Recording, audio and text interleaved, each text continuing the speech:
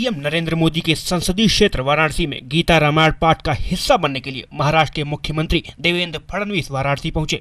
यहाँ उन्होंने सबसे पहले बाबा विश्वनाथ के दरबार में अर्जी लगाई और बाबा विश्वनाथ के दर्शन किए। बाबा का दर्शन लेने के लिए मैंने इससे पहले भी आया हूँ, लेकिन मुख्यमंत्री बनने के बाद पहली बार आया हूँ और बहुत प्रसन्न लग रहा है। और जिस प्रकार का विकास कार्य होता हुआ दिख रहा है, मुझे ऐसा लगता है कि अद्भुत है।